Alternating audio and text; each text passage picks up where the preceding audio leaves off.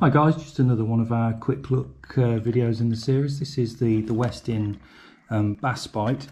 this is the, the floating version, it's 2.5. They uh, they also do a 1.5 version which is 6 centimetres long, 13 grams, and this one's 7 and 16 grams. You can see it comes nicely packaged. And this one is the, uh, the Chartreuse Blue Craw.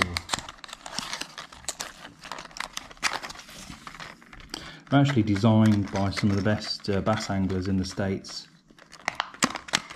So I'm going to be throwing mine for perch,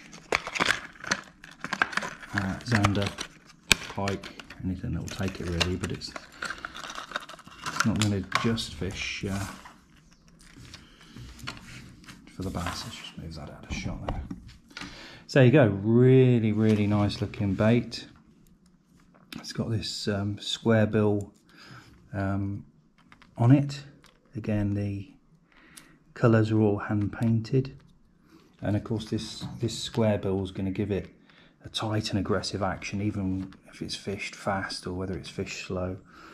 Um, it, has got a rattle inside, but um, this will sort of give out a low frequency knocking, and you'll hear that even from the bank as you're throwing it out. Um, it's lead free, it's made from Japanese ABS plastic. The eyes on these, again, I always check the eyes out on my, uh, my lures. Uh, part of the lure, they're not going to be coming off, obviously.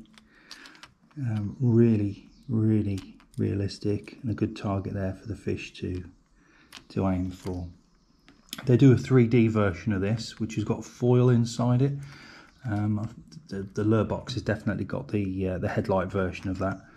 And as with all these lures, you've got the diving depths in meters and feet there. So this will go three to six foot, which is one to two meters. Um, nice sharp hooks, come nicely packaged like that to keep it uh, nice and tidy in transit and on the way to you and your tackle box.